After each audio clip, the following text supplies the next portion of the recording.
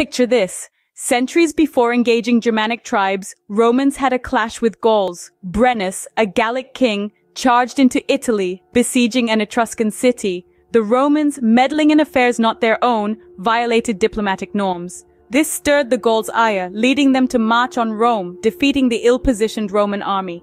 Most Romans fled, leaving a handful to hold the fort on Capitol Hill. The undefended city was sacked and burned by the Gauls. Marcus Furius Camillus, a Roman leader in exile, rallied forces to strike back. After months of siege and starvation, negotiations ensued.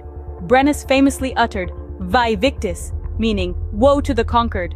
However, Camillus returned, driving out the Gauls and earning the title of second founder of Rome. This sacking spurred Romans to fortify their defenses, staving off another sack for centuries. Stay tuned to Kings and Generals for more historical deep dives.